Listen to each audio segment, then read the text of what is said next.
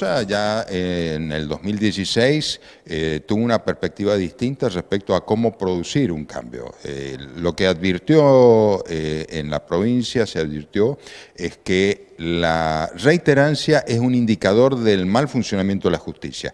Y eso nos llevó a plantearnos cómo mejorar el funcionamiento, con oralidad, cambio de gestión, transformación de los juzgados unipersonales en juzgados colegiados, la unificación de las cámaras, el sistema de audiencias orales, y todo esto llevó de que en las unidades carcelarias, que teníamos más del 60% de las personas privadas de libertad eh, procesadas, eh, hoy eh, es menos del 30%. Y esto es producto de, precisamente de esta forma de trabajar. ¿Cómo ve la justicia los distintos proyectos presentados por, por el gobierno en la legislatura?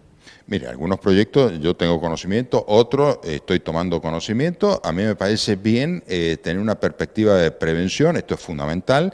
También es importante tener eh, una posibilidad de trabajar en distintos ámbitos. Las soluciones no están en una sola cuestión, en una sola causa, ni en un solo lugar. Eh, hay que trabajar permanentemente.